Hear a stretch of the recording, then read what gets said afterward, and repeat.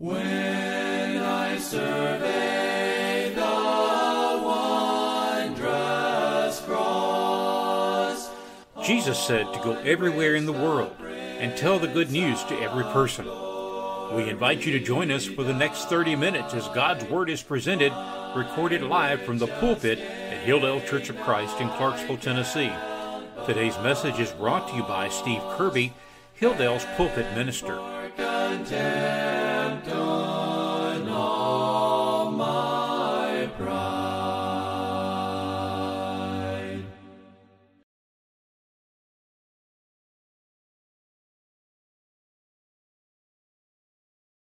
1 John 3 and verse 1 helps us to understand who we are and whose we are.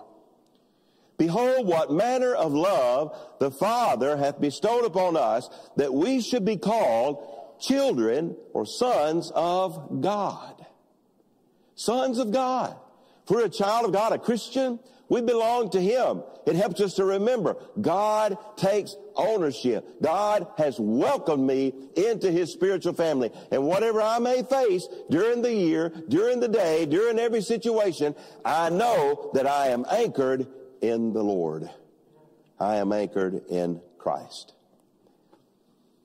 Hosea 4 and verse 6. The prophet said, God through the prophet said, My people are destroyed for lack of knowledge. My people are in destruction. My people are tossed here and there. My people are in a whirlwind because they lack knowledge. They lack knowledge of who I am. They lack knowledge of who they are in Christ.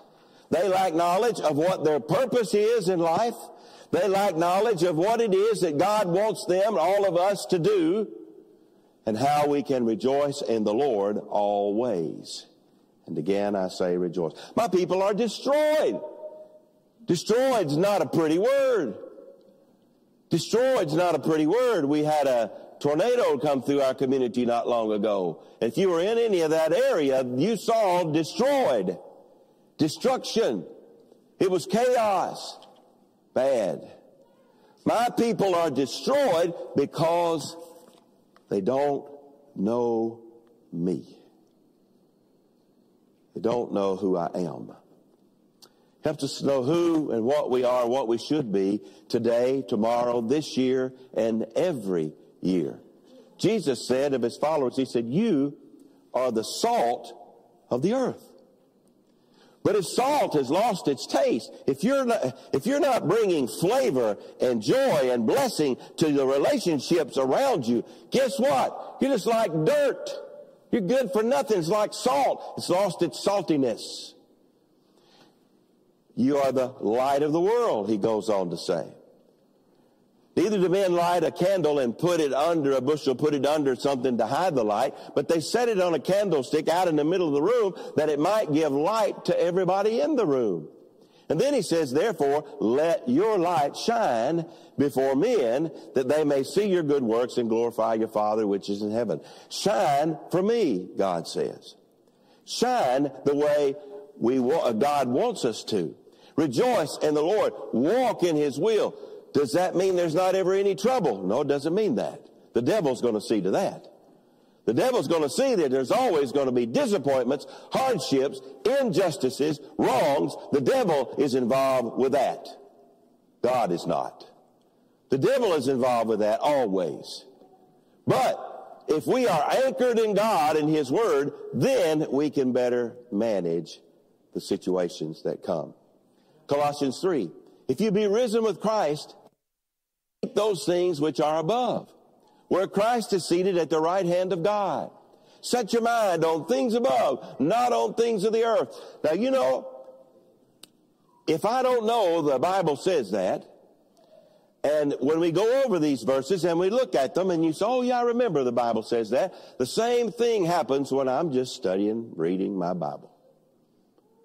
I'll read and I'll say, oh yeah, I remember that. That helps me to solidify my anchoring in the Lord. Helps me to try to remember, Steve, you have got to not be focused on the here and now. You have got to be focused and remain focused on eternity. You're just living for a little while in the here and now, like the song that Brother Tim led us in right before this lesson this morning. This world is not my home. I'm just passing through. My treasures are laid up somewhere beyond the blue.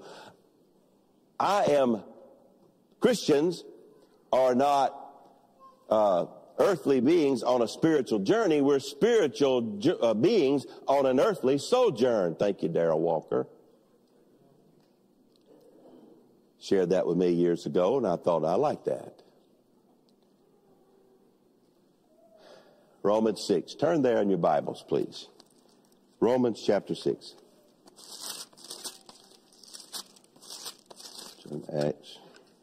Well, you know, when you mark it with your marker, it's easy to turn. Romans chapter 6. Let's begin with verse 3. Do you not know, with verse 1, it says, Shall we continue in sin that grace may abound? God forbid. You died to sin, no, how can you live any longer in it? Verse 3. Or do you not know that as many of us as were baptized into Christ Jesus were baptized into his death? Therefore we are buried with him through baptism into death, that just as Christ was raised from the dead, even so we also should walk in newness of life. What are you saying, Paul? What are you saying, Holy Spirit, through Paul? You got to remember who you are and act like it. Walk in newness of life. Make that your aim. Set your mind on things above, not on things of the earth. Verse 5. For if we have been united together in the likeness of his death, certainly we also shall be in the likeness of his resurrection. In the likeness of his death, with the burial and resurrection in our baptism, knowing this, that our old man was crucified with him, isn't that wonderful? Gone. And that the body of sin might be done away with, destroyed, isn't that wonderful? Gone. That we should no longer be slaves to sin. For he who has died has been freed from sin. Now if we died with Christ, we believe we shall also live with him. Knowing that Christ, having been raised from the dead, dies no more. Death no longer has dominion over him. For the death that he died, he died once to sin for all, but the life that he lives, he lives to God. Verse 11. Likewise, in the same manner, you also consider or reckon yourselves to be dead indeed to sin, but alive to God in Christ Jesus our Lord. Therefore, do not let sin rule or reign in your mortal body that you should obey it in its lusts. And do not present your members as instruments of unrighteousness to sin, but present yourself to God as being alive from the dead, and your members as instruments of righteousness to God. Sin doesn't have dominion over you. Helps us to know who we are and what we're supposed to be. Helps us to remember how we're supposed to live. I love Jeremiah 9, 23 and 24. Let not the wise man glory in his wisdom. Let not the mighty man glory in his might, in his strength. Let not the rich man glory in his riches. But let him who glories glory in this, that he understands and knows me, God says, that I am the Lord exercising loving kindness and justice in all the earth. In these things I delight. Thus says the Lord. My friend Keith Parker puts it in cornbread language, and this is how he summarized it. Don't brag on your brains. Don't brag on your brawn. And don't brag on your bucks brag on God. I just thought that's pretty, pretty plain. Pretty plain. Thank you, Keith. 2 Peter 1, 2 to 4. Grace and peace be multiplied to you in the knowledge of God and of Jesus. You want grace in your life? You want peace in your life? Through the knowledge of God and Jesus our Lord. That's how we get that. We don't get it in our career. We don't get it in our things. We don't get it in monetary matters. You want grace and peace, knowledge of the Lord and Savior, Jesus Christ, and what my eternal purpose is. According to his divine power, has given us all things that pertain to life and godliness through the knowledge of him who called us by glory and virtue, by which have been given to us exceedingly great and precious promises, that through these you might be partakers of the divine nature. You read that and you say, man, this brother prayed a moment ago in our prayer, Brother Furman, God is all we need. God is all we need.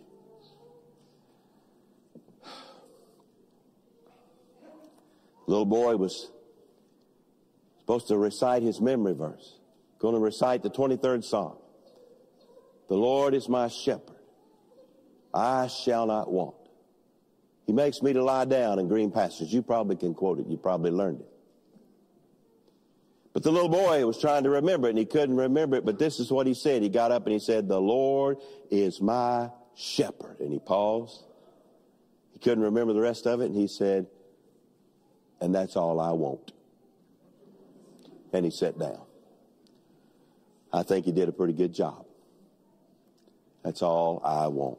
Just from these scriptures alone, we can see how regular practice and habit of reading and studying God's Word helps us to know our value, our purpose, our identity, and ultimately our eternal destination. And thereby will help us to live a happier new year every year. Number two, you've heard me say this before. Perhaps most, if not all, of the problems we have in our lives is because we are either ignorant of God's Word or worse, we willfully ignore God's Word. God tells us what and how to live for Him.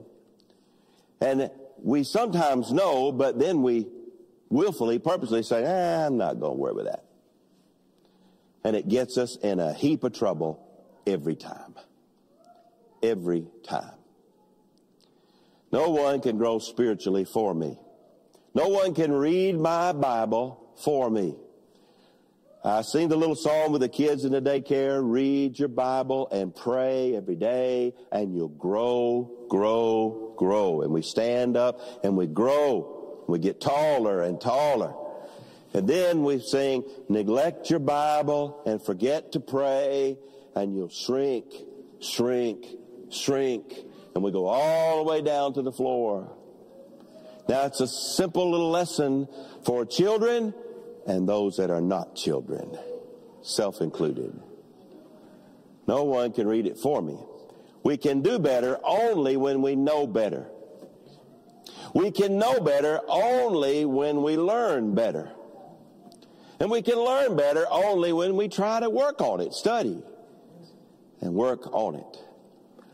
1 Timothy 4 verse 3. Till I come, give attention to reading, to exhortation, to talk doctrine or teaching.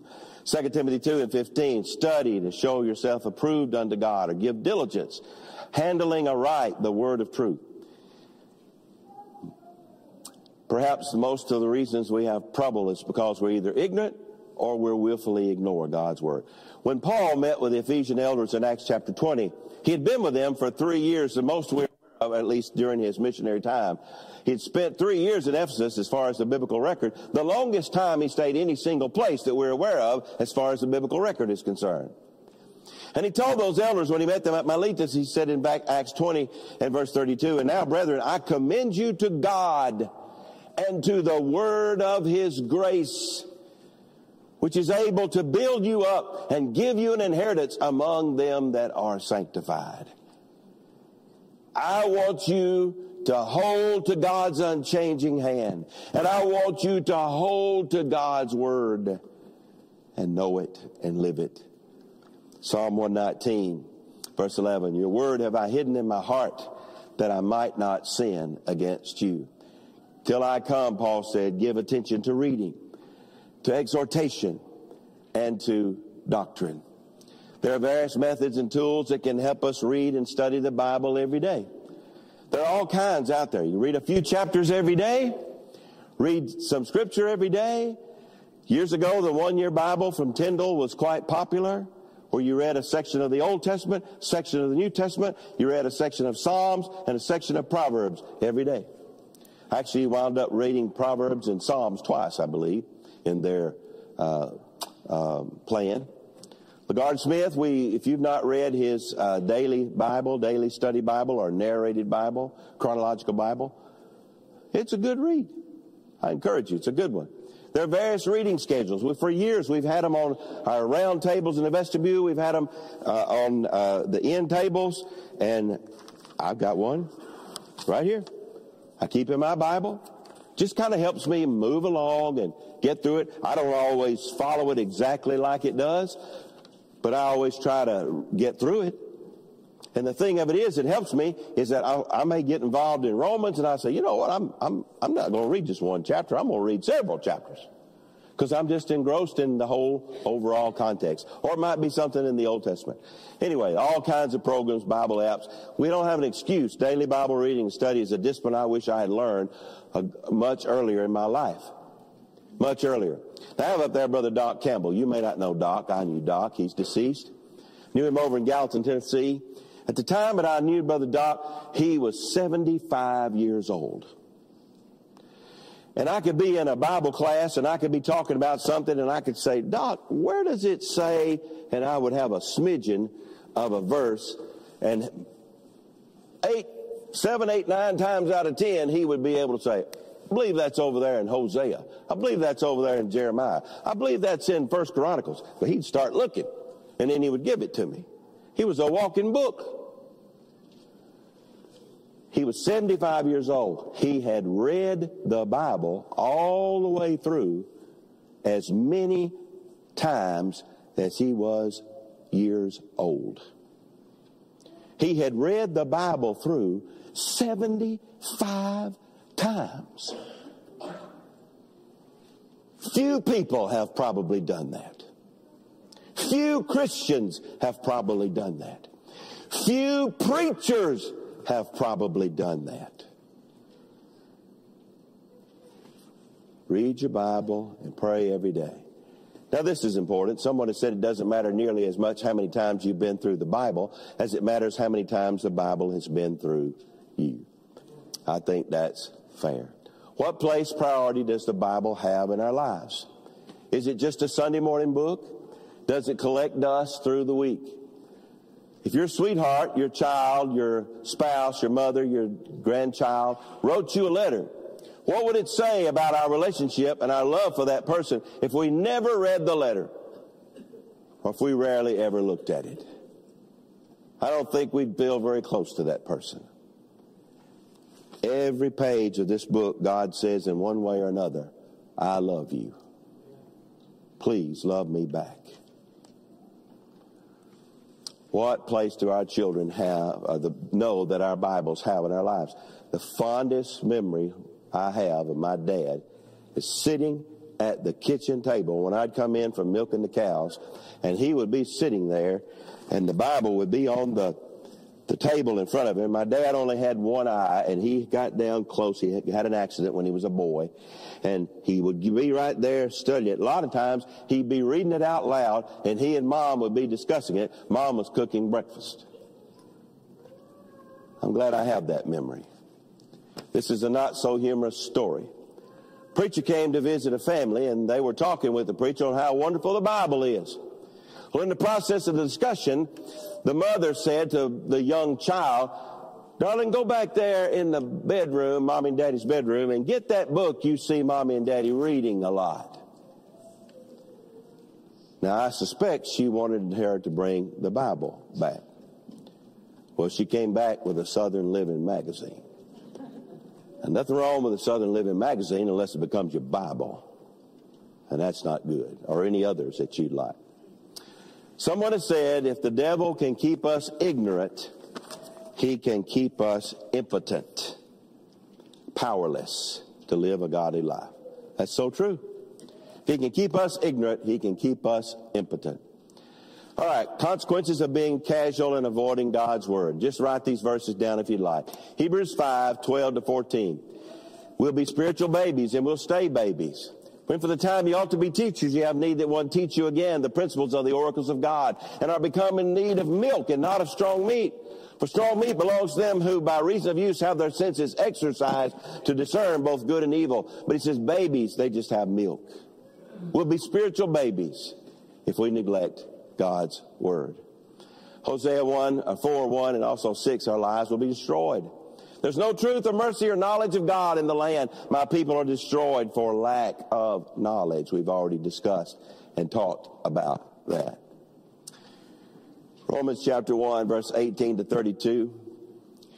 I don't have time to read all that, but if you'll jot it down, I want you to think about what they talked about in those verses.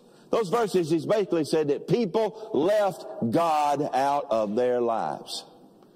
They left God out of their lives and they were involved in every kind of terrible thing that you can read about anywhere in the Bible. Right there in Romans chapter 1. They were involved in all kinds of things. And three times in those verses, the Bible says that God gave them up or gave them over. Let them have their way with the world and the nastiness in it. Those people, do you think they were happy in Romans chapter 1? that they had healthier lives, happier lives, better relationships with all their friends and family? I don't think so. I don't think so. They left God out. Quickly to close, some great benefits. We've already mentioned them, but here's a few. 1 Timothy 4 8.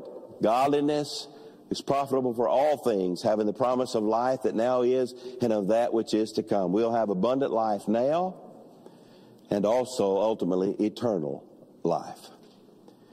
1 Timothy 3, or 2 Timothy 3, the 14 and 15, makes us wise unto salvation. Paul told Timothy to remember, from childhood you have known the Holy Scriptures, which are able to make you wise for salvation through faith that is in Christ Jesus. Wise unto salvation. 2 Timothy 3, 16 and 17, we can all quote it. The Scriptures given by inspiration of God, profitable for reproof, correction, for instruction in righteousness, that the man or woman who would be God's man or woman may be complete, thoroughly, thoroughly furnished unto every good work. Everything that's good, you can learn how to walk and live right here. Everything that's good. It will make us approved unto God and unashamed before God. Present yourself an approved workman. Doesn't have to be ashamed of their work handling aright the word of truth. It connects me to God's power to salvation. The gospel is God's power to salvation. Tells me about how to be saved. It's able to save my souls. Receive with meekness the implanted word which is able to save your souls. We receive and obtain faith through study and reading. Faith comes by hearing and hearing by the word of God. We'll not be in favor with the world, but we'll be uh, renew our minds by studying and renewing our thought process and remember what's important. God will consider us noble. Those who were in Thessalonica were more noble, or those in Berea, excuse me, were more noble than those in Thessalonica. They received the word with all readiness of mind, and they searched the scriptures daily to see if what the Apostle Paul was preaching was true We'll gain light and clear understanding. The entrance of your word gives light. It gives understanding to the simple. Psalm 119 and 130. And in 165 of 119, great peace have they who love your law. Great peace have they who love your law. Purify our souls, become born again, having been born again, not of perishable, but of imperishable, through the word of God which lives and abides forever. You've purified your souls in obeying the truth, Peter says. Helps us to grow spiritually as newborn babes. So many, so many. Daily Bible reading study is worth the effort. I put this in your bulletin this week. I just thought it was a great story. My sister in law sent it to me several years ago. Just thought it was a great story. Old man who lived on a farm in the mountains of eastern Kentucky with his young grandson each morning. Grandpa was up sitting at the kitchen table reading from his old worn out Bible. The grandson wanted to be just like his granddaddy, wanted to imitate him in every way he could. One day the grandson said, Papa, I try to read the Bible just like you, but I don't understand it. And what I do understand, I forget as soon as I close the book. What good does reading the Bible do? The grandfather quietly turned from putting coal in the stove and said, Take this old wicker coal basket down to the river, son, and bring back a bucket of water.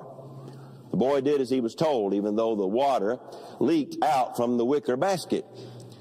And so, before he got back to the house, the grandfather laughed and said, You'll have to move faster next time. So he sent him back to the river in the basket to try again. This time the boy ran faster. But again, the wicker basket was empty before he could get to the house. Out of breath, he told his grandfather that it was impossible to carry water in a basket, and he went to get a bucket instead. The old man said, I don't want a bucket of water. I want a basket of water. You can do this.